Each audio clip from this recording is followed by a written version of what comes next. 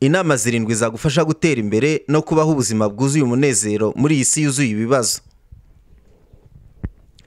Ubuzima bwiza buri wese ashobora kubugeraho.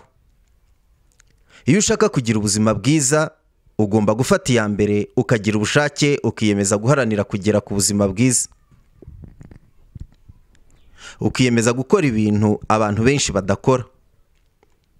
Ukiyemeza gutekereza nk'abantu bakeya aho gutekereza nk'abantu benshi. Uyu munsi twagutegura inama zirindwi ushobora kugenderaho iyo ushaka kugira ubuzima bwiza bwuzuye umunezero kandi buteye imbere. Reka tukwibutse gukanda sabusikarayibu ndetse no kukazogera kugira ngo ujye uhita ubona ibiganiro byacu bishyashya tuzajya tukugezaho kuri iyi cano yacu. Ushobora gukanda like cyangwa se ugasangiza n'abandi iki kiganiro ukanda sheya cyangwa se wakwifuza kutugezaho igitekerezo ugakanda komenti yawe ukayandika hano munsi ya sabusikarayibu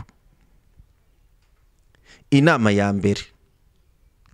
Ibuka ko nubwo uri kuri iyi si hari igihe uzayivaho. Nta muntu n'umwe uzi igihe azapfira. Ushobora gupfa mu myaka icumi iri imbere ushobora gupfa mu kwezi gutaha cyangwa se yewe ukaba wapfa n'uyu munsi. Nta muntu n'umwe ubizi.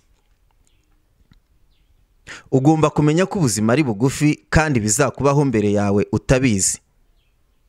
Yewe utazi n'igihe bizabera. Kumenya ibi ngibi bizagufasha kubaho neza igihe cyawe cy'uyu munsi cyangwa se mu cyongereza bita purezenti ibi bizagufasha kwiha icyiza cyose ushaka kandi ukeneye uyu munsi aho kwiyima ibyiza kandi ukabisangiza n'abandi inshuti zawe umuryango wawe ndetse nawo mugasangira. Ni ikintu kikwibutsa ko nta kintu ukwiriye kwiyima buri gihe. Ntabwo nshatse kuvuga ko kwizigama ari ibintu bibi ariko nanone kwiyima ni ibintu bibi cyane. None se ubu uramutse upfuye uyu munsi. Ni ki waba usize imusozi?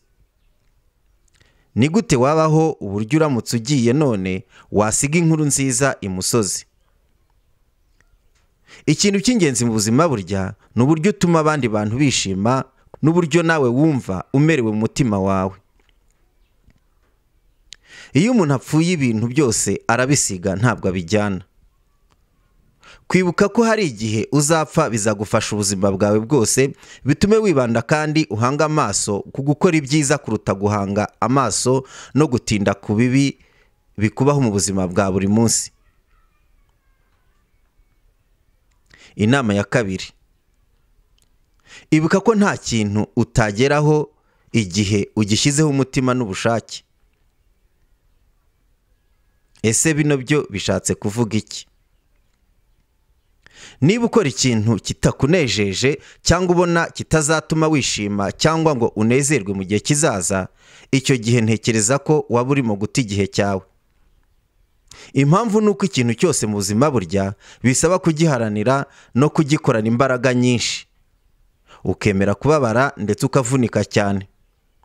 Aho kugira ngo ute igihe cyawe wagakwiriye kuba urimo gukoresha kugira ngo ukore ibindi bizakunezeza cyangwa se byagushimisha muri iki gihe wakwibaza hakiri kare uti mbese ibi bintu ndimo gukora birimo gutuma nishima cyangwa bizatuma nishima ngire ejo heza hazaza? Niba igisubizo atari yego byaba byiza ukiretse. Inama ya kane. Ba wowe ubwawe aho gushaka kuba undi muntu. Ndagusubiriramo ba wowe ubwawe aho gushaka kuba undi muntu. Hari igihe abantu bakora ibintu kuko bumvisha abandi babikoze cyangwa se bakashaka kwigana abo bandi babikoze. Ikintu cyatuma utera imbere ni uko ugomba kubaho nkawe ntushake kubaho nka runaka kuko uba utazi inzira yanyuzemo ngo agere ku byo ubona afite. Baho nkawe ureke gushaka kubaho nka runaka cyangwa ngo wigereranye nawe. Ibyo bizatuma ubaho wishimye kandi utere imbere. Inzira izagufasha kugera ku byishimo mu buzima kandi ugatera imbere ni uko uba wowe ubwawe aho gushaka kuba undi muntu. Ntabwo ushobora gutera imbere iyo ukora ikintu wigana abandi ushaka guhangana nabo cyangwa ushaka kuba nkabo cyangwa ushaka kubabo hari impamvu wavutse uri wenyine kandi iyo ni impano ikomeye cyane. Ibuka ko ufite umwihariko wawe. Iyo ukurikiye inzira yawe utitaye niba abandi bazayikurikira bigufasha amahirwe menshi mu buzima. Reka kwigereranya n'abandi kandi ureke kwigana abandi ahubwo ukore ibyawe kandi ube wowe. Bizakugora cyane nukora ikintu kugira ngo unezeze rubanda cyangwa se abantu. Fata umwanzuro wawe utagamije kunezeza umuntu uwo ari we wese ni byo bizagufasha kugira umunezero mu buzima ndetse utere imbere. Inama ya gatanu. Menya ko ikintu cyose wifuza burya kiri muri wowe. Ikintu cyose wifuza kiri muri wowe n'ubundi. Ese bishatse kuvuga iki? Muri iyi si hari abantu benshi bafite ibintu byinshi tubonesha amaso. Twavuga nk'amamodoka amazu inka amasambu n'ibindi tutarondora. Ariko wajya kureba ugasanga mu by'ukuri nta mahoro babifitemo nta munezero babifitemo. Ntabwo nshatse kuvuga ko kugira ibintu ari ibintu bibi. Oya ibintu kubigira ni byiza ariko burya ntabwo bihagije. Inshuti kuzigira ni byiza na byo ariko na byo ntabwo bihagije. Igihe uzaba ubasha kwishima udakeneye ibintu cyangwa abantu ngo wishime icyo gihe ni bwo uzaba ugeze ku ntera nziza kubera ko burya ibintu birashira kandi n'abantu nabo barahinduka cyangwa se bashobora no gupfa cyangwa bakagusiga wenyine.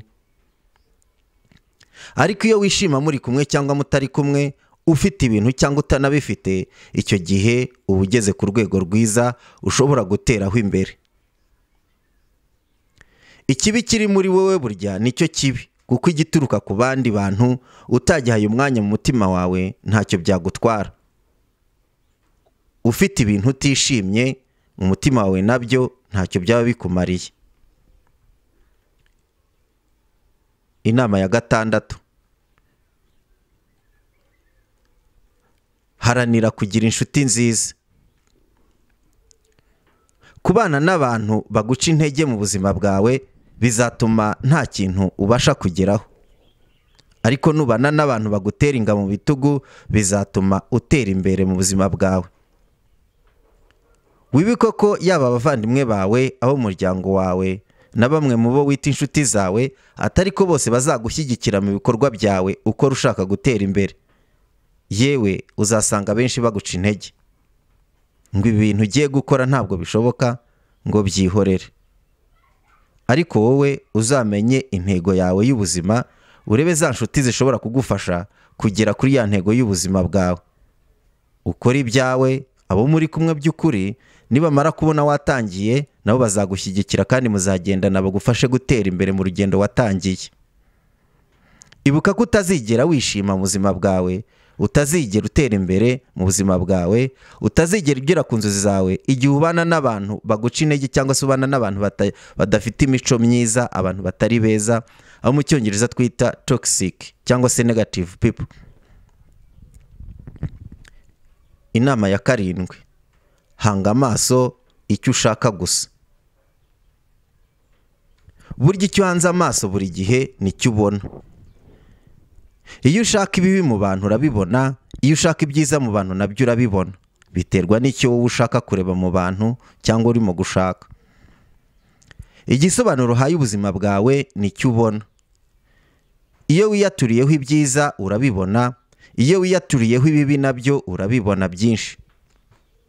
Iyo ushaka ibibi muri iyi si urabibona byinshi pe. Iyo ushaka urwango urarubona washaka urukundo narwo ukarubona. Ntabwo ukwiriye kubona ikibi cyakubayeho nk'ikibi ahubwo ukwiriye kukibona nk'isomo ry'ubuzima maze ukariheraho ukosora ibitaragenze neza kugira ngo ubashe gukomeza gutera imbere. Jya ubona ibibi wanyuzemo nk'amahirwe wahawe kugira ngo uteze imbere ubuzima bwawe no kubona ibyiza kurutaho aho kubibona nk'ibikwica. Icyo uhanze amaso nk'uko nabivuze haruguru ni cyo ubona. Igwa kwiyaturiraho ibyiza wige kureba ibyiza no guhitamo neza mu buzima. Tekereza neza kandi utekereze ibyiza mu buzima bwawe wumve ko ejo hawe ari heza kuruta uko wakumva ko ejo hawe ari habi.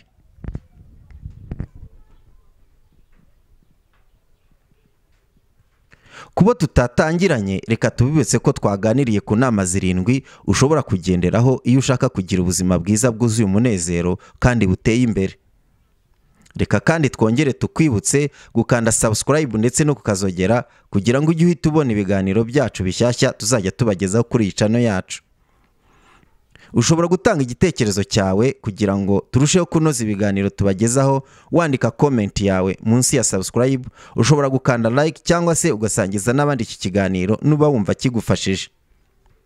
Intego yacu ni ukugira ngo duhindure ubuzima bwa benshi from negative to positive mindset. Kuva mu mitekerereze itari myiza twinjira mu mitekerereze myiza yo nkingi y'iterambere ry'ubuzima bwa muntu. Abongereza bo baravuga ngo a negative mindset. Will never give you a positive life. Bishatse kuvuga mu kinyarwanda tugenekerereje imitekerereze itari myiza ntabwo izigera iguha cyangwa se yatuma ugira ubuzima bwiza. Mwakoze kudukurikira. Ngewe ndi jameni. Imana ibaha umugisha naho ubutaha. Bayi